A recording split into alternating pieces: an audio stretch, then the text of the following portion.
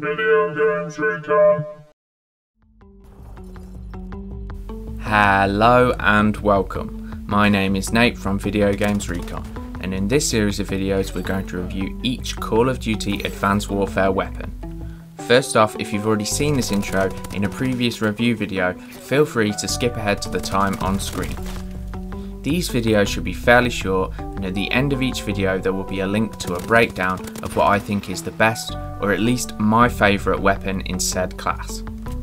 Also, the footage will probably be a mix of multiplayer and local games, i.e., with bots, as I may not have unlocked all weapons at the time of recording and each weapon will be reviewed as the standard weapon in each class and with similar loadouts for as fair a comparison as possible. Please keep in mind this is just my humble opinion, and due to your playstyle your opinion may differ, which is perfectly fine, and in such case please don't rage out and lose your shit. Instead feel free to post your thoughts in the comments section. Anywho, without any further ado, let's do it to it.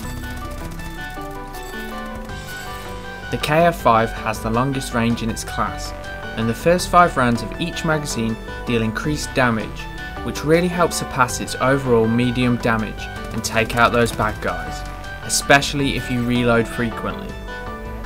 The KF5 doesn't have a huge amount of downsides, with a decent clip size, good mobility, handling, accuracy, and great range. If there's anything that lets this weapon down, it would be the middling damage this thing kicks out of course after its initial power buff as previously discussed, which in turn can make it more challenging to get those multi-kills. So all in all a pretty good weapon and with the right attachments, things like foregrip, advanced rifling and dual magazines, in my opinion can turn this good weapon into a great weapon. But never mind what I think, what do you think of the guns in Advanced Warfare so far? Feel free to post your thoughts on the weapons in this class in the comments section. So, that just leaves me to say if you enjoyed this video, please help support us by liking, sharing, favouriting and subbing for more BS of a similar nature. Thank you and goodbye.